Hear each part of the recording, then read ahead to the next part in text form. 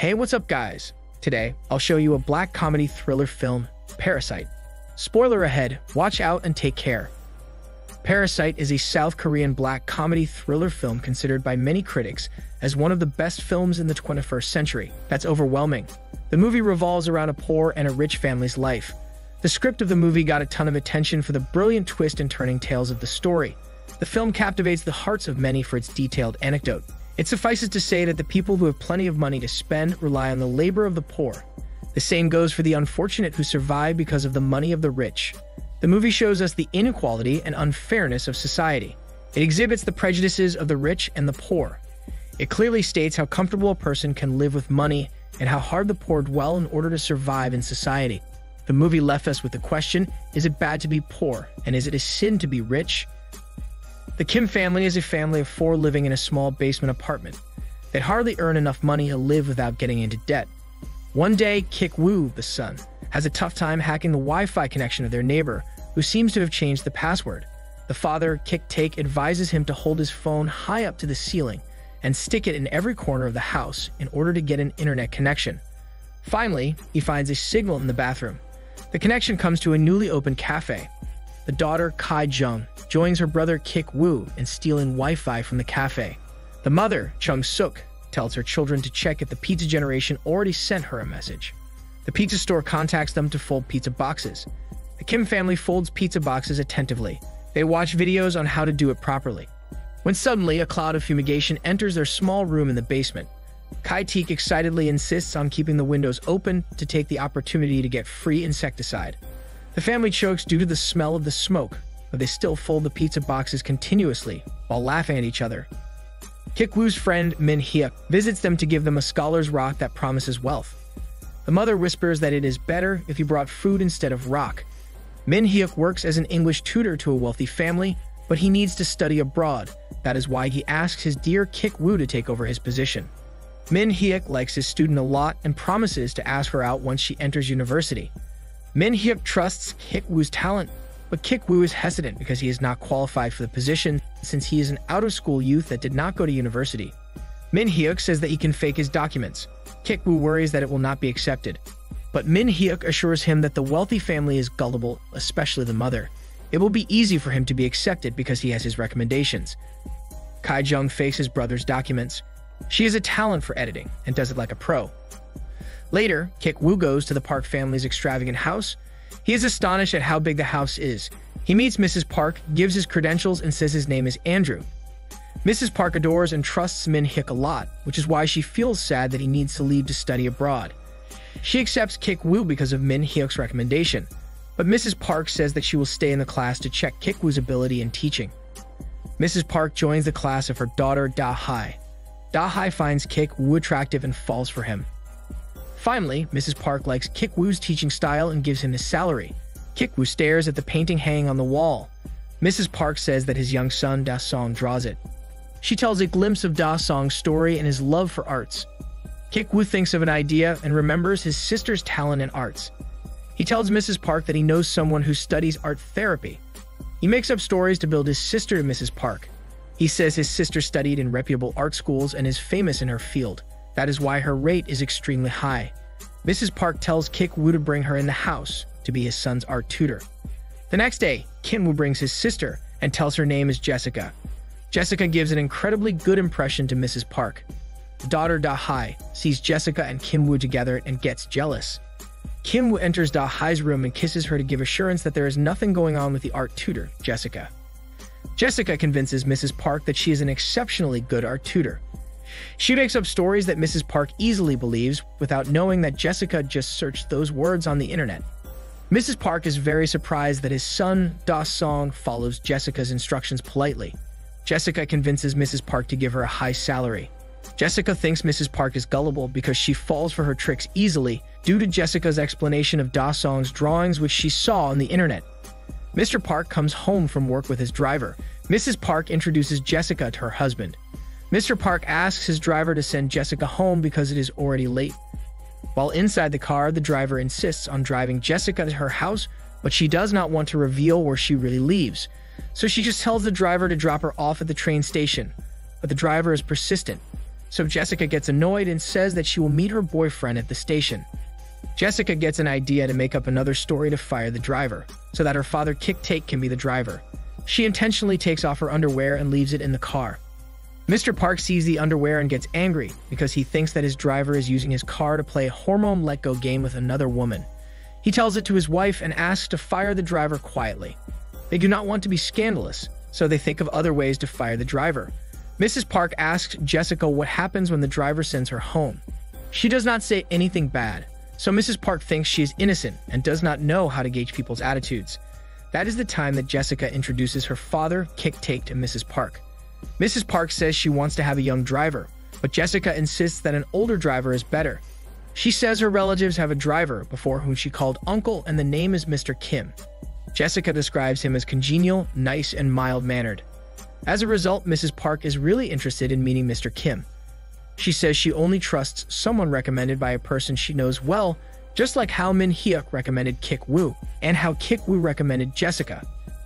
One day, Kick Take and his son go to a car shop to study how to drive a Benz. He practices a lot. Kick Take knows how to drive well because he used to be a part-time driver before. Kick Take goes to Mr. Park's office to meet him. Mr. Park tests him and checks how he drives. Mr. Park is surprised at how well Kick Take drives because his coffee did not spill while he was driving. Kick Take convinces Mr. Park to hire him as the new driver because of his superb driving skills. The family now thinks about how to eliminate the housekeeper Moon Guan. They think that Moon Guan may look like a sheep, but she is a fox inside. She sometimes acts as the owner of the house. They think it will be hard to replace her in the house, for she is the longest person who leaves there. She was the housekeeper of architect Namgoong, who is the first owner of the house. When architect Namgoong sold the mansion to the Park family, he introduced Moon Guan to Park's family and told her that she is a good housekeeper, so they should hire them. That is how she survives the change of ownership. The Kim family thinks she will not give up an excellent job easily, so they need to think of a strategy to eliminate her from the house. While Kikwoo is tutoring Da Hai, she says that she loves peaches a lot, but it is the forbidden fruit in the house for their housekeeper Moon Wong is allergic to it. Because of that, Kikwoo thinks of a great plan. He asks her sister to collect the fuzz on a peach's skin. Kikwoo gets the fuzz of the peach's skin to his sister and secretly splashes it at Moon Wong. Moon Wong cannot stop sneezing and coughing, but she has a major disease. She goes to the hospital where Kick Tick is secretly waiting. Kick Tick takes a selfie with Moon Wong in the background. He shows it to Mrs. Park while they are in the supermarket to buy groceries. He tells Mrs. Park that he heard Moon Wong talking with someone on the phone, saying that she has tuberculosis. The family plans it very carefully. Kick Take sends a message to his daughter that they will be arriving home in 8 minutes. Kai Jung secretly splashes the fuzz of Peach's skin to Moon Guang, causing her to cough nonstop. The timing is perfect. When Mrs. Park arrives home, Moon Guang is coughing hard. She throws tissue in the trash bin.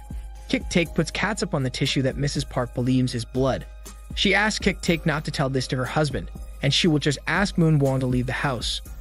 Moon Wong leaves the house blankly, but she wonders why Mrs. Park asks her to leave suddenly. While inside the car, Mr. Park tells Kick Take that he is incredibly surprised when learning his wife fired Moon Guang. His wife just tells him that Moon Guang eats a lot, which is why she doesn't like her to stay in their house anymore. He worries a lot now because his wife does not know how to do the household chores. She is not good at cooking food and cleaning the house. Kick Take hands out a calling card to Mr. Park and makes up a story about the company The Care. He says that it is like a membership service that provides veteran grade help to VIP customers like them. Mr. Park easily gets deceived because the call-in card looks high class thanks to the design by his daughter Kai Jung, who really has a talent for arts. Kick also says that the company contacted him to offer a veteran driver position, but he declined because he had already accepted to work for his family. Mr. Park gives the card to his wife. Mrs. Park calls the number at the back of the call-in card. Kai Jung answers the call and says that she is the senior advisor of the care. Her acting is the best that convinces Mrs. Park Kai Jung's parents are really surprised by their daughter's acting. The mother, Chung Suk, finally enters the house as a replacement for the housekeeper. The Kim family successfully deceives the Park family. Each of them gets a job in the household. Kai Jung acts as Jessica, the art therapist for Da Song, Kik Woo as Da Hai's English tutor, Kik Take as Mr. Park's chauffeur, and Chung Suk as the housekeeper. Kik Woo also begins a restricted romantic relationship with Da Hai. One day, the Parks decides to go camping so they enjoy the luxuries of the parks. The couple sleep on the couch.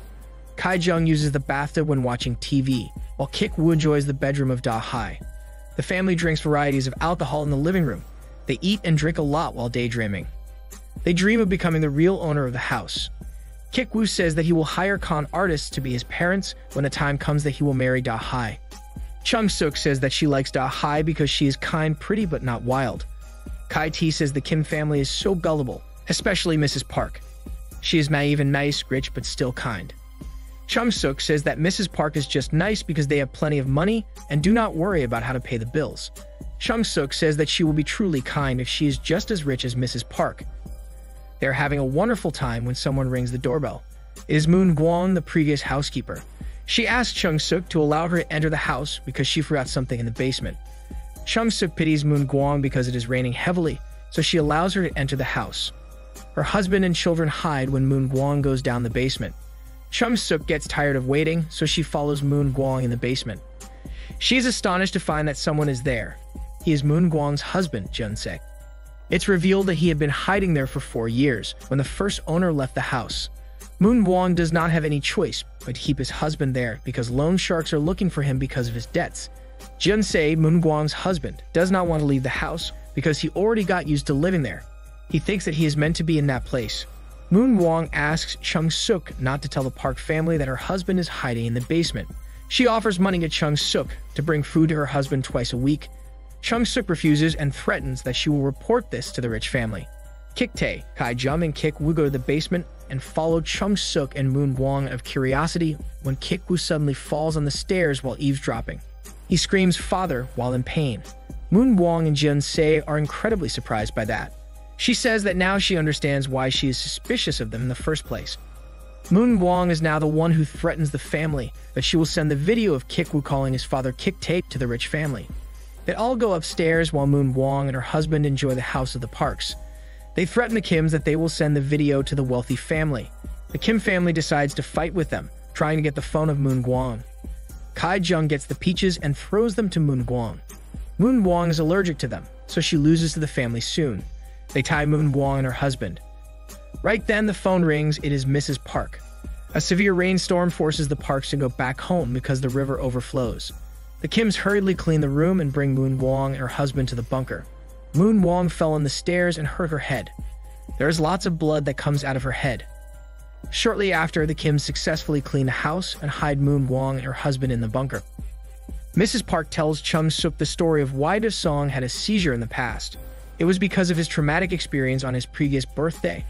While eating cake sunbae, Da Song saw a ghost who actually happened to be Moon Wong's husband. It's revealed that the husband went to the kitchen to look for food without knowing that the young boy was also there. The Kims hide under the table and hear negative comments of the wealthy family about their stinky smell. The Kims get offended at how the Parks bully their family. The Kims sneak out of the house while Mr. and Mrs. Park are sleeping. They go home and find their apartment flooded. They are forced to stay in the shelter with others whose houses were also flooded. The next day, Mrs. Park prepares for Da Song's birthday with the Kim family's help. Kik Woo goes to the basement with the Scholar's Rock to find Jun Se. They are surprised to find out that Moon Wong died due to concussion when she fell on the stairs during her fight with the Kims.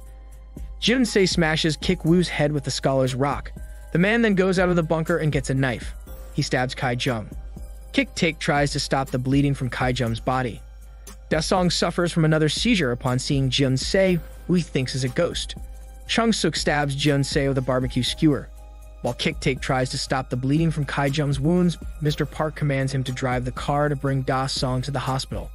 Kick Take is out of control and remembers Mr. Park's offhanded comments against their smell. So Kick Take gets the knife and kills Mr. Park. He flees from the scene and leaves his family behind. Time passes, Kik Woo is recovered from brain surgery. He and his mother Chung Suk are convicted due to fraud and put on probation. Kai Jung died, while Kik Tae is hiding in the basement. Kik Woo always checks the mansion, which is now owned by a German family who is unaware of its history. He sees the message of Morse code from a flickering light from the mansion. He knows that his father is there waiting for them. Kik Woo writes a letter for his father and promises to earn money so that one day he can buy that mansion and they will be reunited. This is Daniel CC Movie Channel. Stay safe and enjoy your fun for today.